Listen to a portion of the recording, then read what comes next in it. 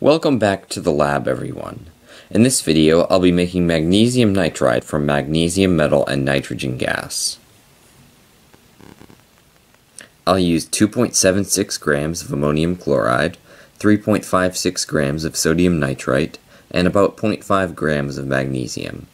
I first added the ammonium chloride and sodium nitrite to a flask, along with around 100 milliliters of water. The mixture was stirred until everything dissolved.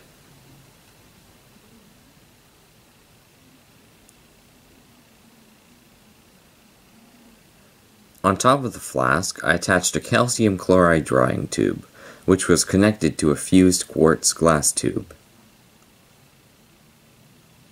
In the middle, I placed magnesium chips, although magnesium powder would be much better. This led to a second drying tube and finally to a flask of water to monitor gas generation. When I was ready, I turned on heat to the flask. Nitrogen was slowly produced and eventually reached a good rate. I let the apparatus purge for around 10 minutes to remove any oxygen. After this, I lit my Bunsen burner and began to heat the magnesium. It started to take on a black color. A dark film then slowly spread over the glass.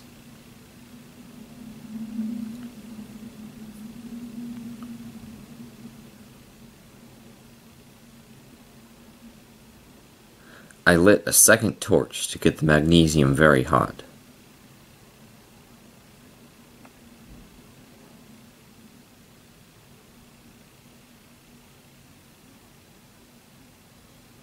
After 10 minutes, I turned off heating and let the tube cool under a flow of nitrogen.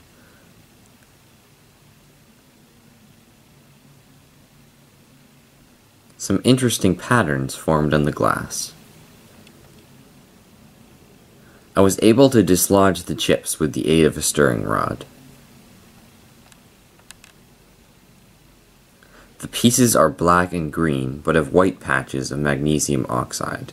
There also appears to be magnesium metal underneath.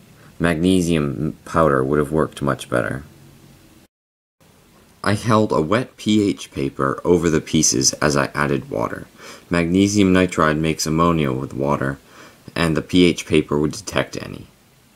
Bubbling and a blue-green color indicated ammonia. Also noticed the milky color of the water from the magnesium hydroxide. Something interesting was observed when I tried to clean my tube with hydrochloric acid. I didn't expect it. Listen to this.